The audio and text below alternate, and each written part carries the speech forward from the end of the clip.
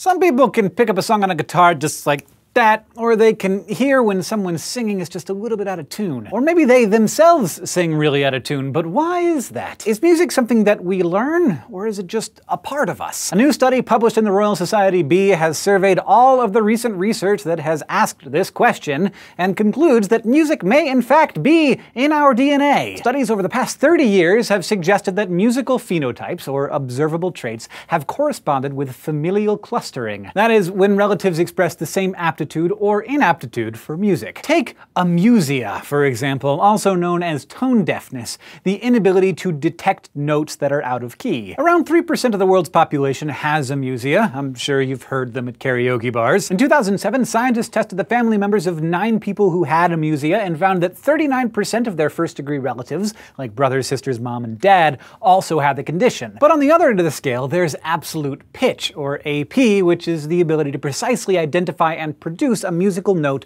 without any reference. So a person with AP could hear this sound and know that it's an A sharp without first having to hear any other notes to compare it to. That might sound pretty easy. It's not. It's very rare. A small study in 1988 showed that among identical twins, if one twin is found to have AP, there's a 79% chance that the other will too. The likelihood is only 45% if the twins are non-identical. This could mean that there's a relationship between musical aptitude and familial clustering, but this relationship could also be environmental rather than genetic since twins typically grow up together. But in the last few years, scientists have begun gene expressions that may relate directly to musicality. For instance, a few studies have found a connection between the ability to remember music and perceive musical structures, like choruses, bridges, and note changes, to the expression of two specific genes. If you keep a track at home, they are arginine vasopressin receptor 1A, or AVPR1A, and a serotonin transporter gene called SLC6A4. The researchers stress that these are not the only two genes that may relate to music, because music itself is so wonderfully complex that the scientists theorize that our genes too may work like a symphony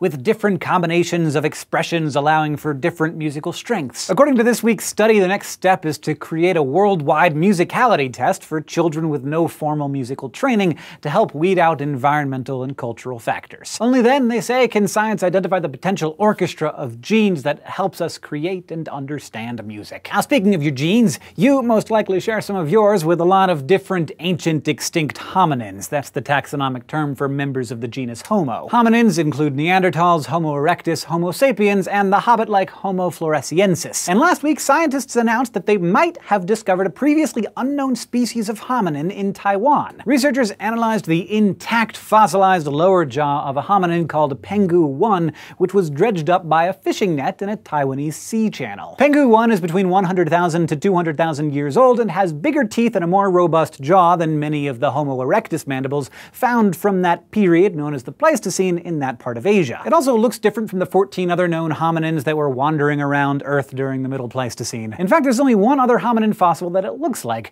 Penghu 1 closely resembles a 400,000 year old jaw found in northern China, which has also been puzzling anthropologists due to its robustness. So scientists hypothesized that the two jaws might come from a previously unknown species of hominin that once lived in Asia, but they say they need more fossils to compare if they're going to establish where this human fits into our family tree. At this point, the two jaws could be anomalies, coincidences, or the result of interbreeding between two different hominins, which isn't unheard of. For most of us, anywhere between 1 to 4% of DNA actually came from Neanderthals. Which makes me wonder, if they were any good at music. Anyway, thanks for watching SciShow News. If you want to help us share science with the world, you can become a supporting subscriber at subbable.com slash scishow. And if you want to keep getting smarter with us, you can go to youtube.com slash scishow and subscribe.